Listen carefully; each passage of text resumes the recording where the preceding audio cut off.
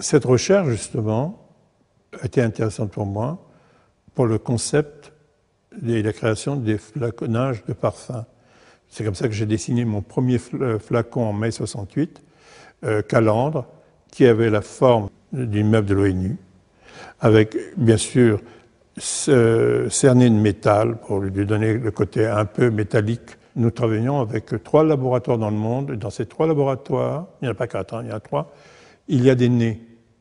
Et on donne des images d'hommes, des images de femmes nez, qui nous apportent des mixtures qui correspondent à ces images. Et donc on travaille ensuite plus sucré, moins sucré, plus frais, plus, plus rond, etc., etc.